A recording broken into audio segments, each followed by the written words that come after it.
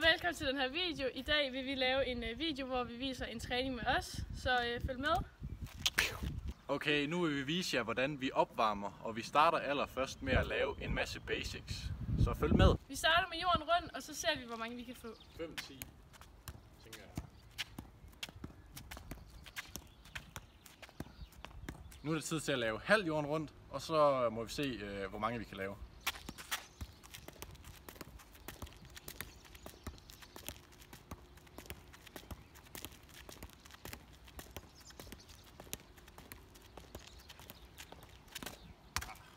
Nu prøver vi med hop the wall, så lad os se, hvor mange vi kan få. Ja. Fint! Nu prøver vi med crossover og ser, hvor mange vi kan få.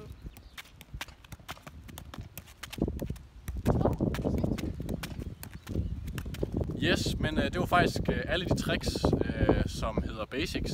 Øhm, men vi kan jo godt lide at lave slaps, så det tager vi også lige med.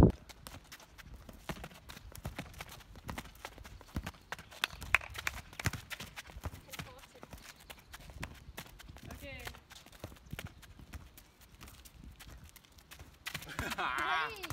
Yes, men øh, efter basics, så øh, træner vi egentlig bare det, vi har lyst til at træne. Og øh, nu øh, der prøver vi egentlig bare at få en masse clips øh, hver især. Så øh, se med.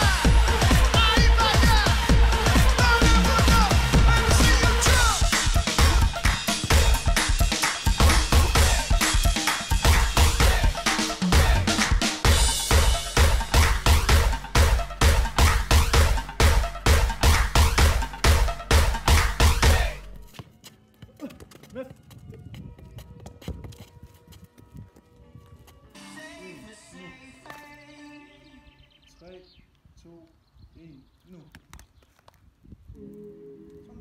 Tak fordi I så med i den her video. Husk at subscribe til Brisse FC YouTube-kanalen, og selvfølgelig også Briaks YouTube-kanal.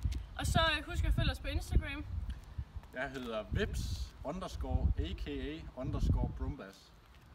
Og jeg hedder Mira F-Style. Og jeg hedder fstyle underscore Mikkel. Og ellers øh, tak fordi I så med. Hej hej.